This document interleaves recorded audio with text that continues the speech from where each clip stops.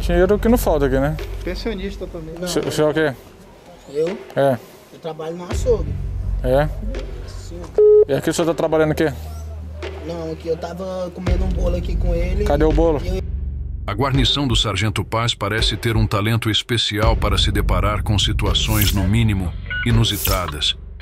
Depois do famoso X tudo recheado do bairro da Paz, agora é a vez do bolo. E aí, sargento, esse bolo tem recheio? É isso mesmo, meus amigos. Mais uma ocorrência inusitada para nossa conta e já dá para imaginar que tem algo a mais nessa história. Se tem uma coisa que o Sargento Paz não perde, é a chance de dar uma boa conferida. Vamos acompanhar mais essa situação e ver o que sai desse bolo. Pegou, é que ele pegou pra esquerda ou direita? Esquerda. Então vai. Olhou, olhou. Chama, chama. Olhou. Chamou. Foi direita, direita, direita. Bocada. Peraí, devagar. Vê se ele foi pra esquerda ou direita, dá uma olhada. Não vi ele passando. Sumiu, bicho, esse cara. Bora pra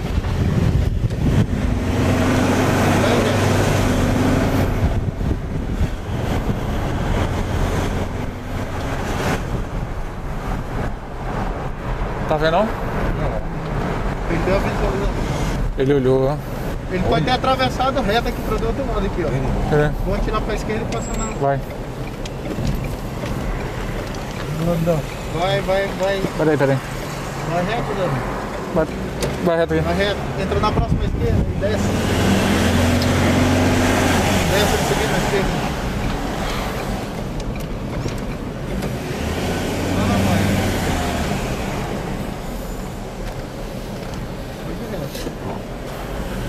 É assim, Haddad. Tem dia que dá certo, tem dia que não, né? Infelizmente ele tá de moto. A gente tá na viatura, se a gente for muito rápido, pode quebrar a viatura. Claro que se fosse o giro, teria mais eficiência, né? E ele tava a distância também, considerada a gente. Ele saiu muito rápido, olhou para trás, né? Ali numa atitude. Acho que ele pegou para lá naquela hora. Ele deu, na- ele deu por cima da ciclofaixa. Quebra pra direita, pra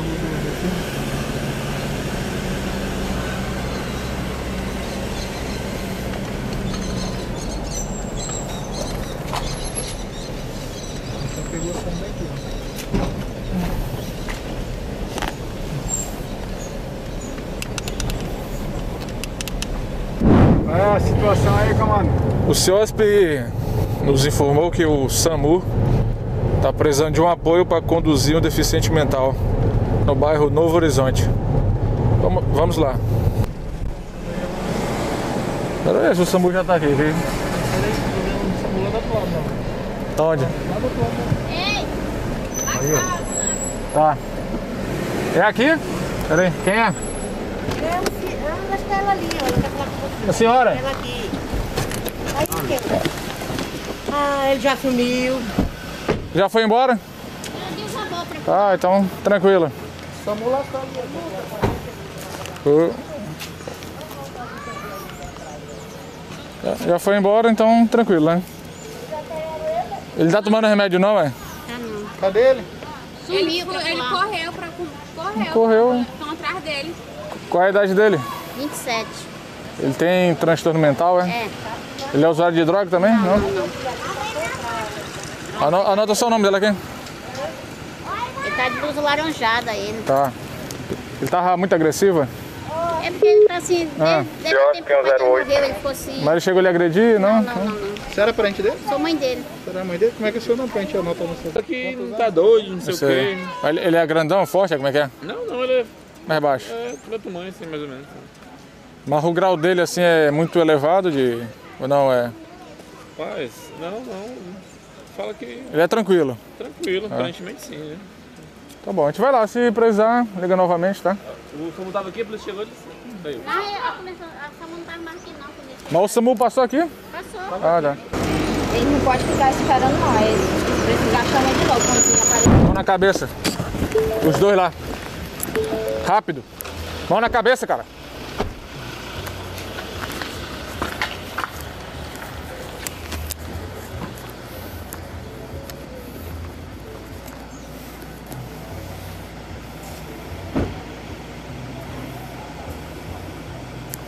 De quem é essa moto preta aqui? Sei não, cheguei agora aqui. Desceu ele. Isso aqui É meu. é? Tá pensando nisso, né? A minha profissão, eu sou pensionista. É pensionista. É. Pensionista. Do quê? Pra cá. Não, mas tem que trocar, né? Senão não gasta. É.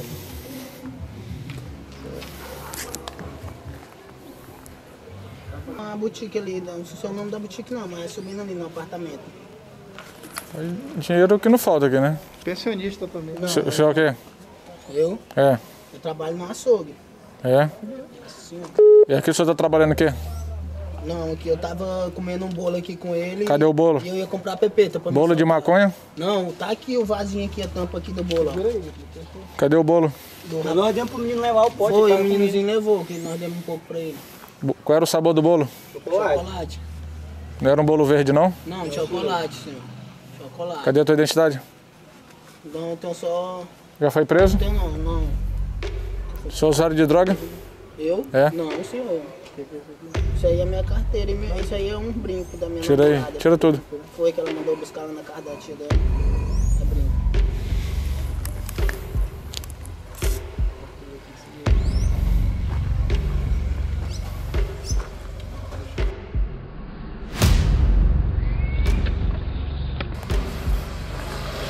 Olhar.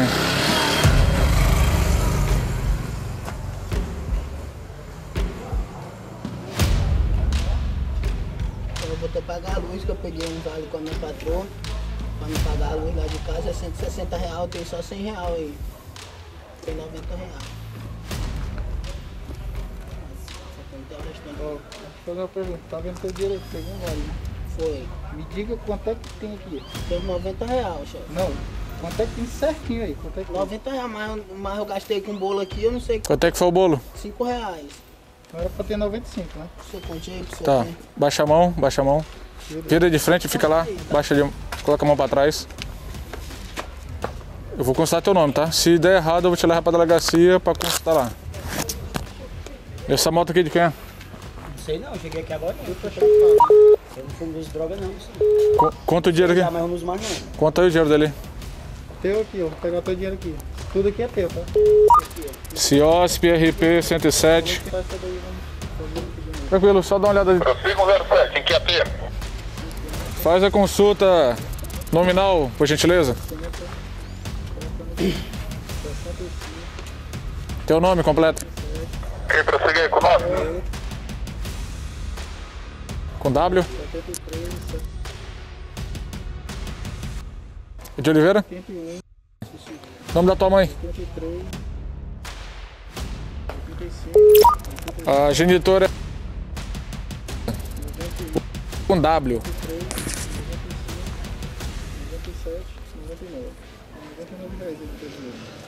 O bolo foi um real então. Que pouquinho, pouquinho, copiado agora. O bolo foi um real. 5 reais. Mas se tu disse que tinha 100 e o bolo foi 5, tem 99, quem é que tá ruim na matemática? Eu ou é tu? Não sei, mas por causa que eu inteirei com o menino também. Ah, tá. Inteirado. Tu inteirou com um real, O né? menino deu 3 reais, ele deu um, eu dei outro. E o teu dinheiro aí, irmão? Quanto é que tem? Tem 100. 100? Fechadinho aí. Fechadinho. Pega aí pra nós. Conta aí. 50, 50. Aqui é 89. Hein, o 02. Dá uma olhada no bequinho ali. Vai lá, vocês dois, vai lá. Agora, imaginem a cena. Beco do Cid, mais conhecido como o Beco do Crime, pela constante venda de produtos ilícitos. Dois suspeitos parados, suas histórias completamente contraditórias. Detalhe interessante: cada um com a mesma quantia em dinheiro, tudo trocado. Coincidência? Talvez até sejam trabalhadores. Do Cid, quem sabe, né? Afinal, no meio de tanta suspeita, é difícil acreditar que não tem angu nesse feijão. Pode até ser só uma leve desconfiança, mas quem conhece o local sabe que a ficha criminal por aqui pesa tanto quanto as notas trocadas. Vamos ver o que mais esses trabalhadores têm a nos contar. O problema, mesmo sabendo que algo está errado, a polícia, por mais que sinta o cheiro do ilícito no ar, não pode fazer muita coisa. Hoje, com as novas regras, a guarnição se veria numa situação complicada. Sem flagrante, sem evidências claras, nada encontrado. Acredite, É a polícia que acaba tendo que se explicar por fazer o trabalho que deveria ser preventivo. E enquanto isso, o crime ganha tempo, espaço e tranquilidade. Ok, furto e roubo é barrar o financeiro alterado, final 3 aí. Mas furto e roubo é barraca, certo? Positivo. Então ela tá aqui no beco do Cid, não tem dono. Tá liberado, vai lá. Muito obrigado. Serra a sinuca aí. Levanta a camisa. Levanta a camisa. Vira de costa. Vira de costa. Sou também de moto e levanta a camisa. Vira de costa. Eu? Sou mora onde? Eu moro aqui. Vem aqui na frente. Tá funcionando aqui o bar? Tá só a sinuca, porque eu tenho que estar no carro, mas... Encerra tudo aqui, tá? A gente bebendo. Tá. Tem denúncia aqui que estão traficando do lado aí. Então encerra, tá? O senhor mora aqui? Eu? Quem é que mora aqui? Na casa dele. O senhor mora onde? Aqui Então destino. Esse carro pode terminar de ser lavado? Pode. Tá. O que não pode estar funcionando aqui é o bar. Já Tá. Diversas vezes a gente passa aqui. Tá bom. O senhor mora onde? De azul aqui? Tá, já vou lá. Eu sou responsável aqui pelo, pelo setor aí de iluminamento aí. Tranquilo.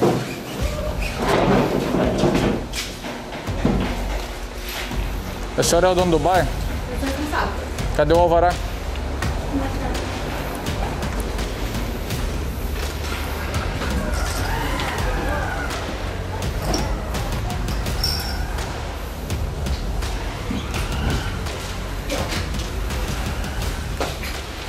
Tava tirando aí, deu esse negócio aí, mas não consegui tirar. Deixa eu só ver se eu acho aqui. Esse aqui, né? Além de não ser permitido, né, o bar está funcionando, algumas vezes a gente passa aqui e vê o pessoal bebendo, né? Sim, entendo. E as denúncias que estão chegando é que estão traficando tanto dentro do seu bar, como aqui perto e as pessoas usando entorpecente. É verdade ou não? Eu não posso dizer que eu não vejo nada. A senhora vê, né? Aqui eu tô aqui dentro. Quando eu tô aqui, eu tô aqui dentro. Eu tava só aqui fora pouco, eu tava atendendo Pois é. Só. Mas eu despaço no que entra, porque eu não gosto de ficar aqui fora não, entendeu? É aquela coisa, né? O cara, se o cara estiver traficando dentro do seu bar, Mas eu aí, qual, aí porque eu não não vejo. Eu sempre fico lá dentro. a senhora não vê, por que a senhora não vê? Porque eu fico lá dentro. Ah, Isso aqui foi a documentação que foi pedida pra poder tirar. Aí eu tirei.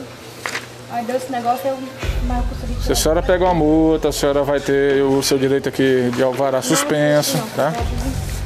À meia-noite eu vou passar aqui de novo. Pode passar, pode passar. Então, Oh, desculpa, obrigada, tá? a senhora tem que se ajudar e ajudar a polícia militar. Então, você quer o seu ganha-pão? Trabalha aqui? Eu trabalho aqui toda tarde, mais Pois é. Lava Jato. Aí de vez em quando alguém pede pra jogar sinuca e. Pois é, aí às vezes esses caras que vêm pra cá usar entorpecente, queima o filme da senhora aqui, né?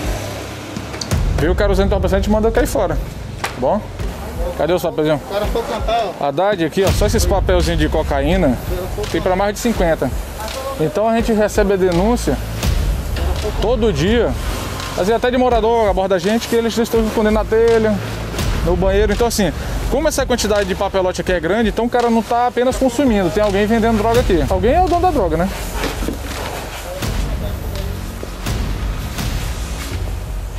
Pode fazer uma denúncia anônima. Tá todo lado, tá todo lado que o cara vai olhar. Hora dos abraços, Haddad. Bora. Chegou o momento. do- Vai devagar, sobe, sobe o vidro. Senão... Apenas 10, tá, comando? Vou tentar 9. Vamos às nossas preciosas dicas de segurança de hoje. E já que não podemos nos armar, melhor prevenir. Desconfie de promoções e ofertas por mensagens ou e-mails. Golpistas adoram pegar os desavisados com ofertas que parecem boas demais para ser verdade. Não clique em links desconhecidos. Sempre vá diretamente ao site da empresa para verificar. Evite atender chamadas desconhecidas. Se você não reconhece o número, melhor ignorar. Golpistas estão cada vez mais sofisticados e podem tentar extrair informações pessoais. Se for importante, eles deixarão um recado. Tenha sempre uma lanterna e um apito à mão. Em tempos de tantas restrições, já que não podemos nos armar, Uma lanterna pode ser útil em apagões. E o apito. Bem, pode servir para chamar atenção ou até afugentar aquele bandido desavisado. Vai que funciona, né?